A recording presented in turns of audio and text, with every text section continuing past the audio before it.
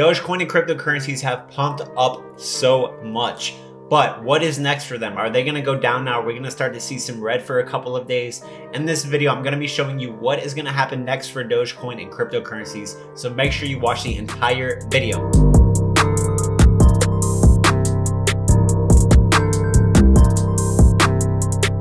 What's up, Myles? It's ladies and gentlemen here. Make sure you subscribe and hit the notification bell because I have many years of investment and trading experience, and every day I make videos about Dogecoin and cryptocurrencies, and we call out huge plays before they happen. If you want to get access to my profitable trade alerts for cryptocurrencies, join my Patreon, which is in my top pinned comment, or in my video description for only $10 a month where you can message me at any time. You can talk to me on the phone. We can build you a portfolio and much more. I'm giving away 200 Doge to one lucky winner this coming Saturday. All you have to do is like this video, subscribe to the channel, follow my Instagram and Twitter, and put Dogecoin giveaway in the comments. If you love Dogecoin and cryptocurrencies, smash up the like button. It helps us support the channel and the Dogecoin community.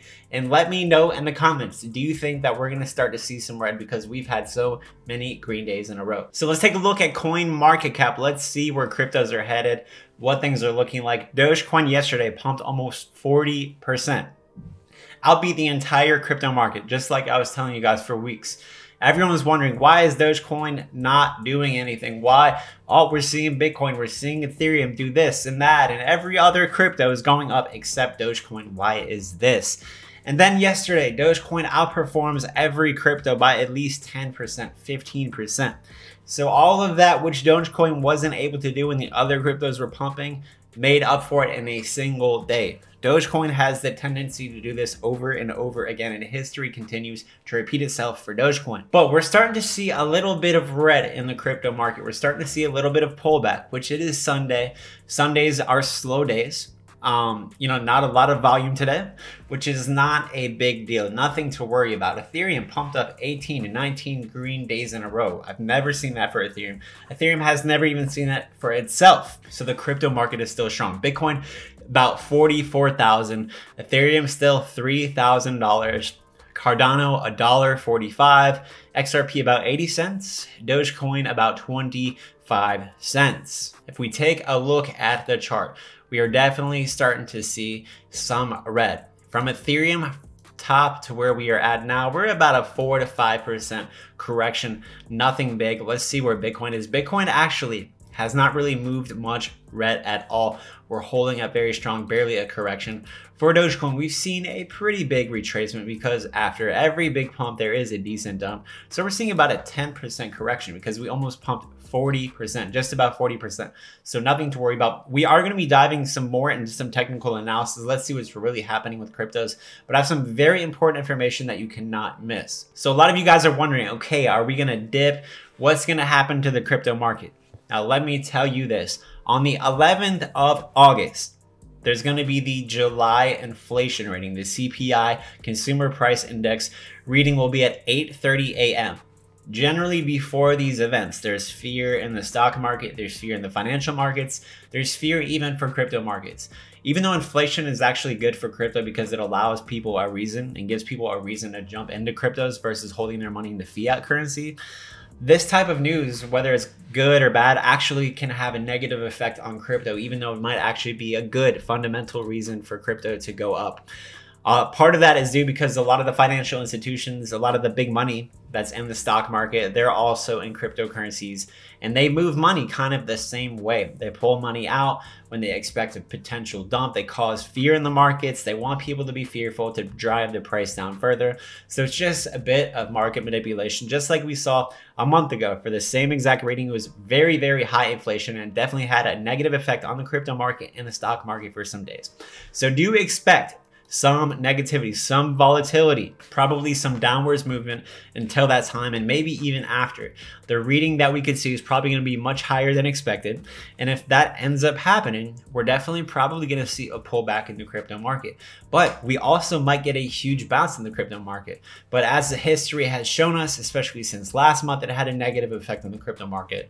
So I think people are starting to get fearful for that. They're pulling their money out. That's why we're seeing low volume. That's why we're seeing cryptos in the red. Then we also have this tax bill, the infrastructure bill that's affecting cryptocurrencies. They're supposed to be voting on it here very soon, I think today or tomorrow.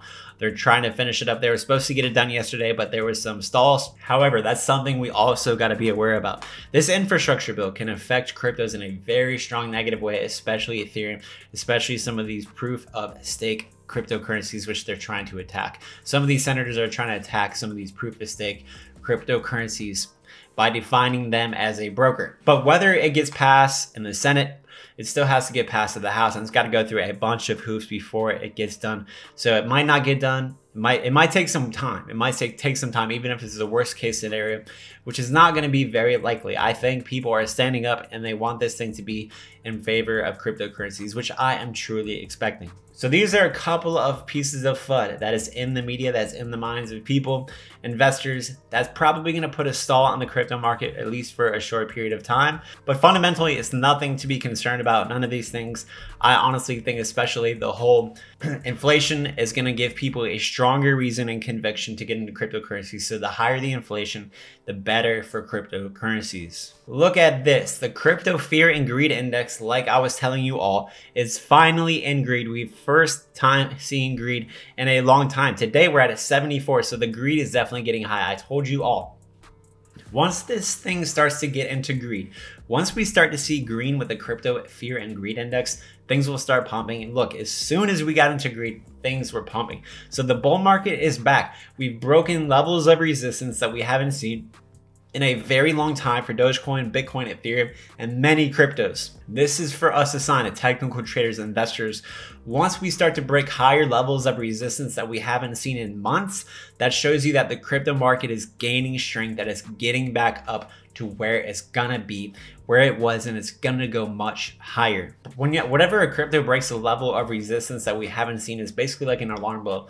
Hey guys, we are going up higher. That's what that alarm sound is basically like. But I wanted to show you guys this. Look at this. Santiment, he said on Twitter that Bitcoin's revisit to 45,000 for the first time since mid-May is certainly something to celebrate.